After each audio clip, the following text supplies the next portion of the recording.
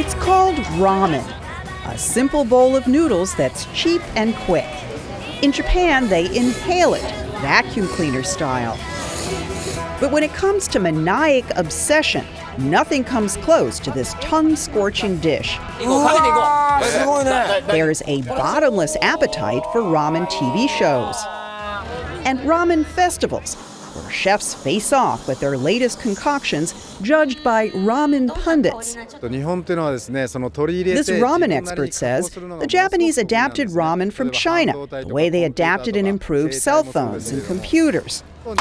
And with competition steaming among ramen makers, they're still adapting. Innovations like this two time champ, black soup ramen. Ramen is for every day, the chef says. It's the ultimate people's food. Japan's noodle fixation was immortalized in the 1985 movie Tampopo, the story of a woman's quest to make the perfect bowl of ramen.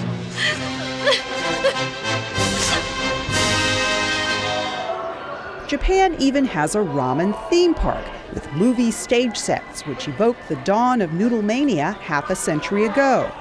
It features nine different varieties of ramen from around the country. And now Americans are discovering Japan's guilty pleasure. Ramen is the national dish of Japan, as popular here as hamburgers are in America. But this is not just any fast food, it's a feast for the senses. It starts with inhaling the aroma and then savoring the flavor notes of the soup before tucking into the noodles with gusto.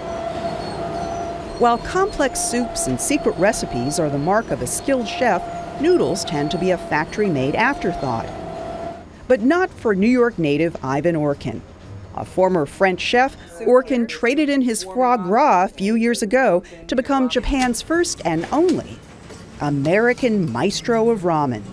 It's like eating ribs. There's no way to eat ribs without a smile on your face. And ramen is the same thing. It's messy, it's gooey, it's sticky, it's full of, you know, illicit flavor.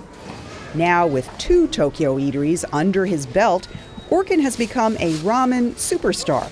For his eclectic noodles, made with exotic ingredients like soy milk and roasted tomatoes, Nothing less than the gourmet treatment will do. In a good bowl of ramen, I, I guess I like to say that you don't know where the beginning is and where the end is. It just all seems to flow together in a perfect harmony. So, this is comfort food, Japanese style, where it's rude to eat politely and good manners to have fun.